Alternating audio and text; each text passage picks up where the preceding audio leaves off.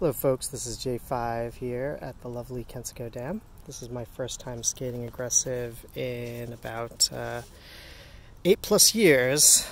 Um, I actually did a lot better than I thought I would. Uh, I was actually to stick on some grinds, didn't go very far, and with the flat setup that I have of the 50-50s on these Remz 03s, um, I was uh, getting quite a bit of wheel bite, but my Mizous and my um, kind grinds, you know, they're coming back to me. I wasn't afraid to jump up and stick on them. But one of the things I think I want to talk about is these remedies. Um, I know the new remedies came out, these ZO3s. Uh, I got them at the end of my skating days um, and uh, skated them a little, but never really felt that comfortable in them. I missed my Salomons so much. But I finally found a setup that actually feels almost exactly like my old Salomons. Uh, so what I did in the 03s was I took out the uh, the, the uh, cuffs and really cranked down on the straps. So there is an inner cuff that is integrated with the liner. Um, well, there's a liner pocket that goes over the cuff so that they feel like almost one piece. And um, what really works here is basically the uh, you feel really close to the grind like you did on the Salomons, um, almost like your foot is right onto the ledge. Um, it does have a wider sole area than the Salomons that took a little getting used to, but uh, uh, I felt like I was sticking really well with these. And uh, what was key is the cuff. So I was skating these with one of the cuffs on because uh, for the 03s the bolts weren't very good. They got stripped a lot. Um, I finally had the tools to drum all them off. And now the flex pattern on this is amazing. Uh, it has the forward and backwards flex pattern um, of the of the Salomons because of the V cut here. Salomons kind of achieved that with a um, uh, their bolt had a sort of a slot on it, and that slot would allow flex forward and back of the actual um, cuff. Uh, also in the Royale position, um, there's actually quite a bit of resistance as you get up, which is good, but you can tweak over a lot before it starts to get really, really stiff.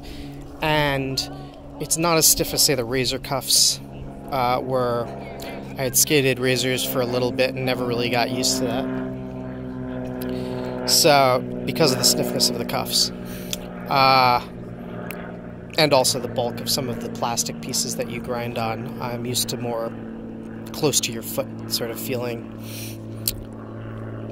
So, I'm kind of quite happy with the setup. I don't know if I would do gaps, and that's more, uh, or larger gaps. Uh, it's more because of my, my age uh, I'm 42 now, and um, I've messed up my ankles in a number of ways, including jumping off uh, 10 foot, doing a 10 foot drop, dead drop from one of those towers there. Um, uh, it was, uh, I made it a couple of times, and I had my cuffs really loose because that's how I liked them at the time. And uh, the last time, my ankle just went to the floor, and I had to go to the hospital. It was mainly badly sprained. Um, so I wouldn't do much with this uh, gaps. Um, I would probably put on a cuff, maybe do an outer cuff or something if I wanted to do gaps anymore. I don't think I'll ever want to do large gaps. Uh, but it feels great.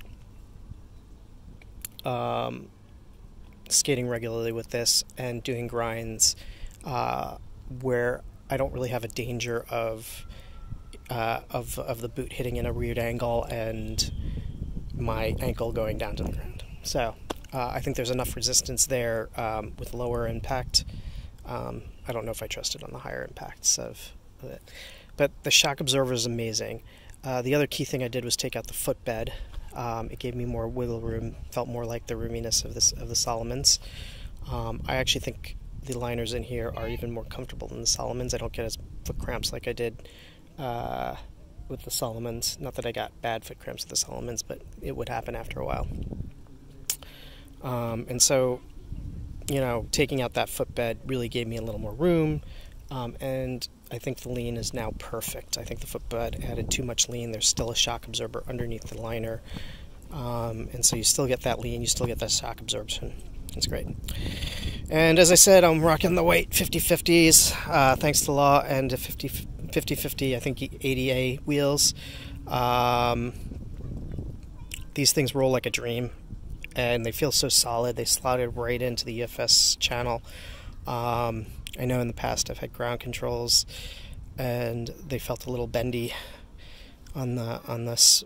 Um, but you know, I've always wanted to skate 50-50 and for some reason I went with ground control back in the day. And I think I like the traditional sort of groove of the 50-50 more than the large H block of the uh, ground controls. So uh, my review, and uh, it's great being back. I'm thanking Law, thanking his videos for really getting me back into blading, um, and really like you know doing this. I don't know how far I'm going to go with it. I'm using it for exercise and just to like you know feel that freedom of again of being able to do uh, athletic tricks that I never thought I could do. Uh, and all you have to do is just keep practicing at it and keep trying and keep doing it and do it safely. Wear pads, at least a helmet. All right, that's it. Thank you.